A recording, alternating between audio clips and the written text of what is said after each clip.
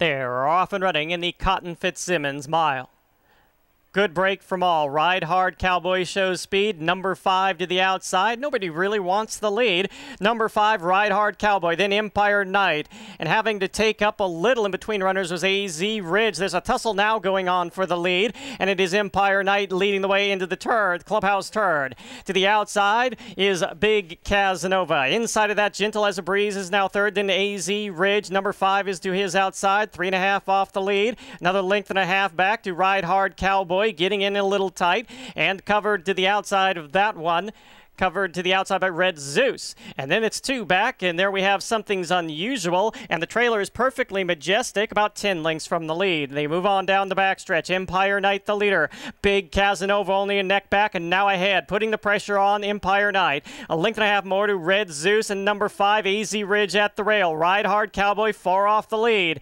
Then a length back, and enters Something's Unusual. Then we go back to Gentle as a Breeze, and perfectly majestic still the trailer. Now seven lengths from the leader. They go through the far turn in the Cotton Fitzsimmons mile. And it's still Empire Knight and Big Casanova, stride for stride. AZ Ridge is going to angle to the outside of them. Then number five, Something's Unusual at the rail, trying to come on. And Ride Hard Cowboy at the rail also. And Something's Unusual going to switch to the outside. Here comes Something's Unusual now trying to run down AZ Ridge. The pace setters have dropped away. AZ Ridge, Something's Unusual, perfect, majestic flying, but too late. AZ Ridge, Something's Unusual usual, a bob of the nose is in the Cotton Fitzsimmons mile.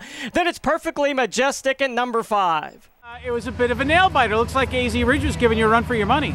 He is super game horse. I'd seen his races uh, here locally, and, and I knew he was going to be a tough customer. I was just hoping to work out an okay trip. We were able to save ground on the first and second turn, and when I saw an opening to kind of tip him out, we just took advantage.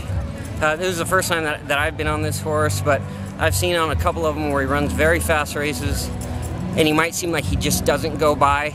I was really trying to work on timing it as much as I could, and uh, and I got to that horse, and I thought I was going to go by him fairly easy, and like you said, that, that that other horse really dug in and and made it a battle all the way to the wire.